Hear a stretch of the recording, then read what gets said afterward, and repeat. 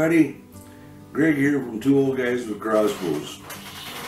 Just gonna go over before you go deer hunting. You want to make sure your bow is ready to go.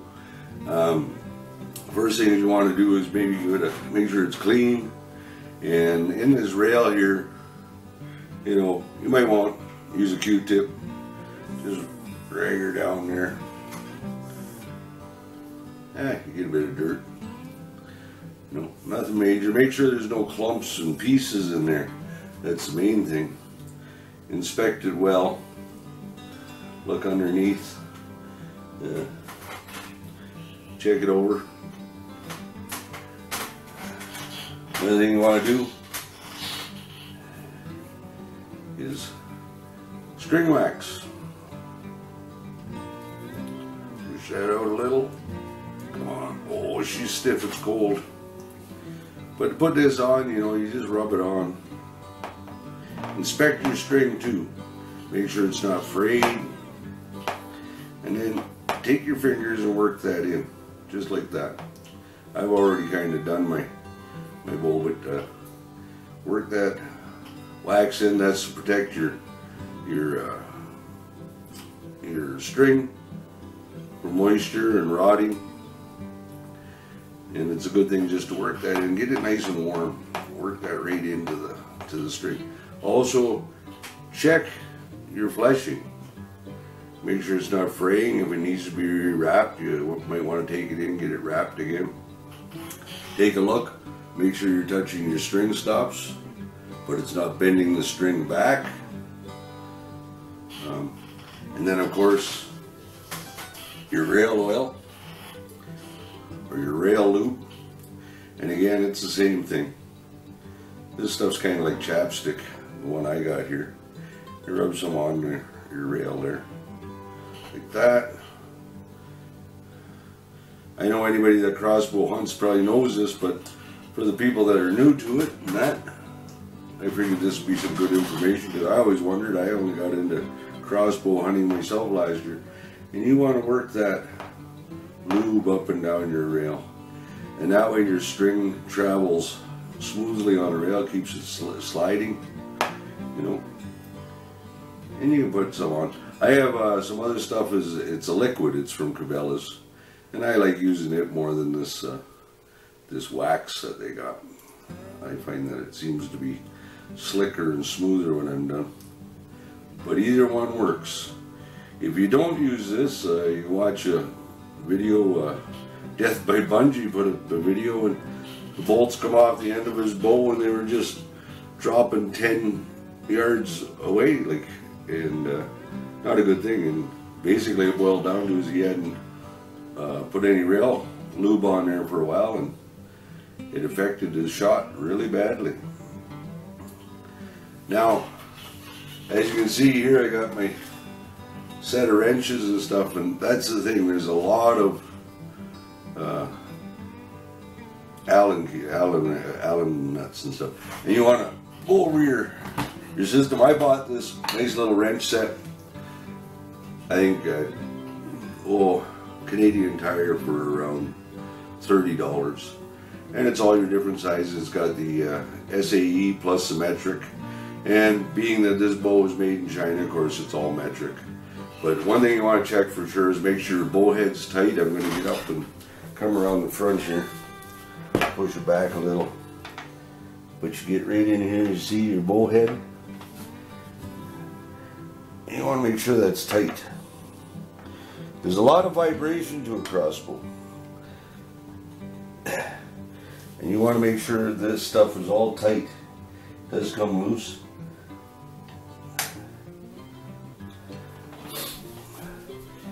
Turn your bowl over. You look at the bottom, you've got Allen keys here. This is your quiver mount. It'll come loose. Um, this is all for mounting your your bow, your string stops and everything. You want to make sure all this stuff's tight. This is your quiver mount down here, sorry. This is a rail mount for your, for your handrail. But you want to check all of this. Make sure it's tight. I don't know if you can see that high, so come back down. But there are nuts all along here. Now watch, some of these are trigger adjustments, so you don't want to be adjusting your trigger. But you do want to get your rail, make sure that's tight. This is your trigger adjuster right in front of the trigger on this. You don't want to adjust that, but there's another one back here. You want to tighten up.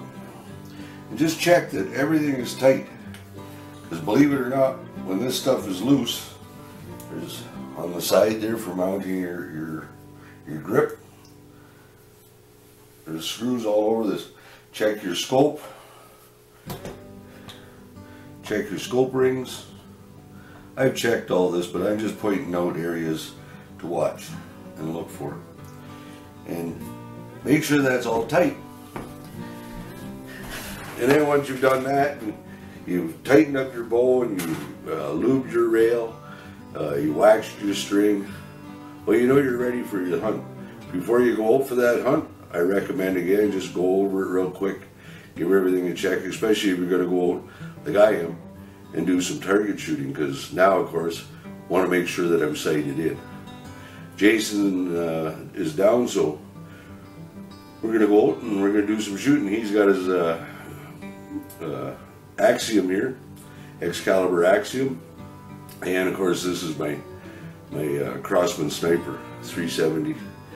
And we're going to take them out. We're going to do some shots at uh, 40 yards. Plus, we're going to do some penetration shots. See what kind of penetration there is at 40 yards on a phone book. So stay tuned.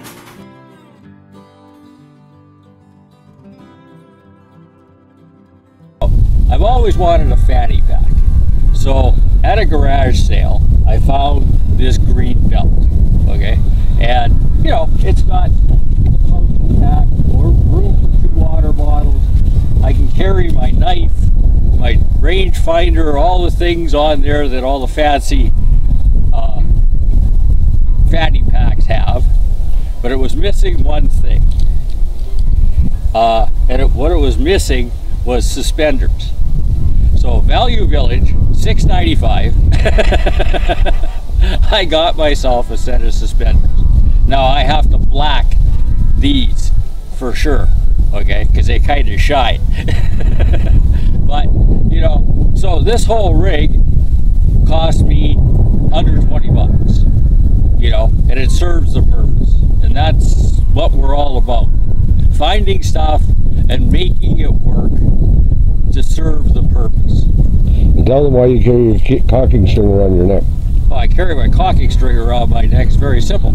Because to cock the crossbow, then you're not looking for it. And the other thing you need to do, okay, is when you put your cocking string and cock your cock your bow, always re- always put it. Don't reverse it, or your handles are on the inside. Always put it so your handles, so you just bring it down and hook it on. So that's one trick that I we learned very quickly. Because all of a sudden your handles are on the inside. Or you're digging around on the ground looking for your cocking string. Or Yes. So it stays handy this way. they're always Excellent. right there and they're always nice and straight. Ready Yeah. to ready to cock your bow.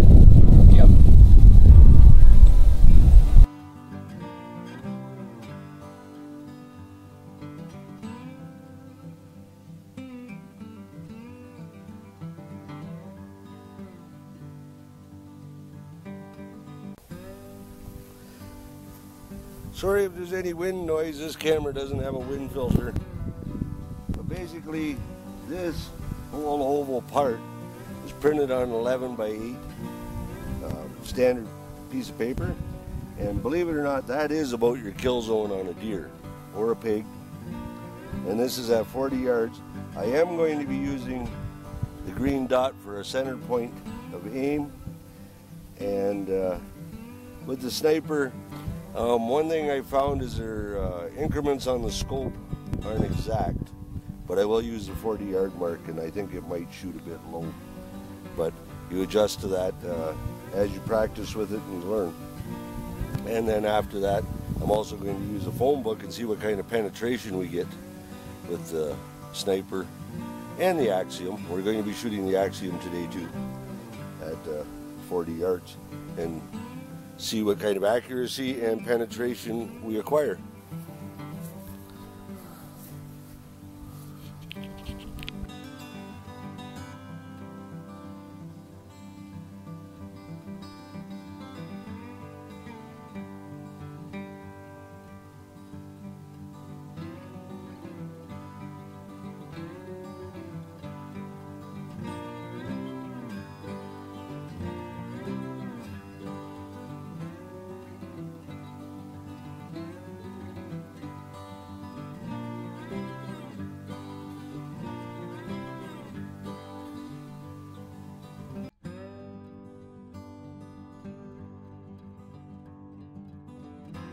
Apologize about the wind. As you can see, that's well within the kill area. I was aiming here. Um, there's a bit of a wind today. I've hit a bit to the left and a little bit low.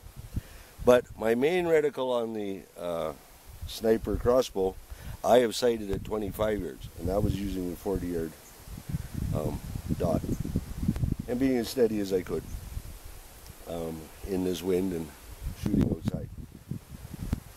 Now we're going to try a penetration shot.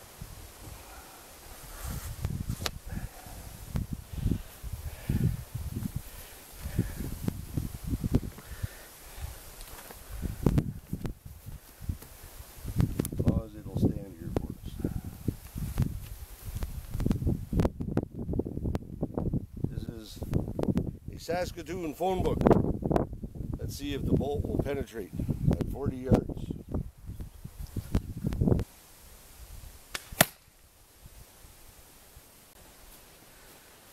Well, I guess the big question is, did we penetrate the phone book?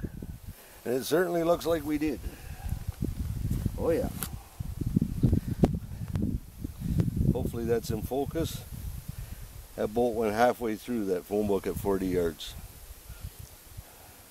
I know the deer I got last year were both 20 between 20 to 30 yards, and I had a clean pass through on both bolts when I shot them. And this is Jason uh, with the other half of two old guys with crossbows.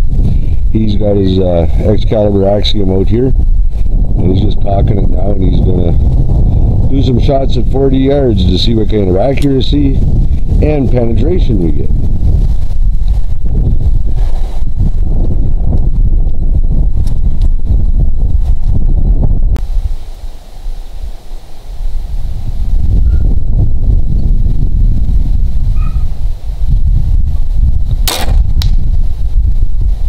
Killed the top of the target.